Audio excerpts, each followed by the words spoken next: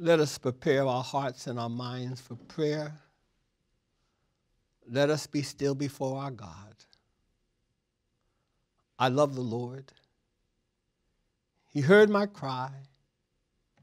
He pitied every groan.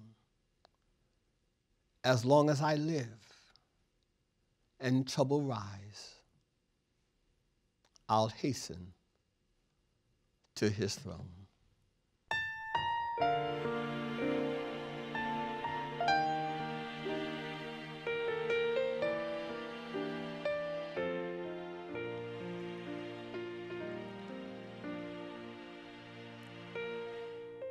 Most gracious and loving God,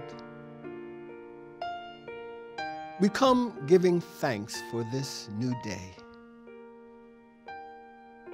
A new day to count blessings. A new day to appreciate the gift of just being alive. A new day to, to see to feel with gratitude all the good that is already in our lives. A new day to, to forget what is behind and to reach toward what is ahead.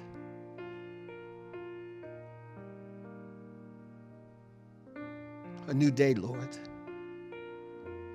A new day to appreciate the little things that are not really little, but just taken for granted. A new day, oh God, to trust ourselves and to believe in ourselves again, to dream new dreams, and to see new possibilities for the living of our days. We confess, oh God, that many of us are still struggling to understand the true desires of our hearts. Help us now, even in this moment, to listen to our own hearts, to know what we should seek after, and to know what we should run from. And as we try to figure these things out, oh God, Show us how to be patient and gentle with ourselves and patient and gentle with others. And when all seems hopeless, remind us that you are able to do exceedingly and abundantly more than we could ever imagine. Even in this moment as we pray, oh God, give to us a blessed assurance that all will be well, that we will be healed, and that our tomorrows will be better than our yesterdays. We give to you now not only our concerns, but the concerns of all your people.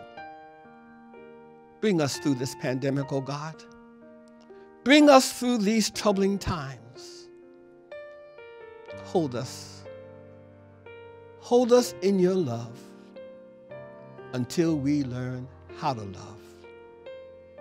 Now adopt thy still dews of quietness until all our striving cease. Take from our souls the strain and the stress, and let our ordered lives confess the beauty of thy peace. In your name we pray. Amen.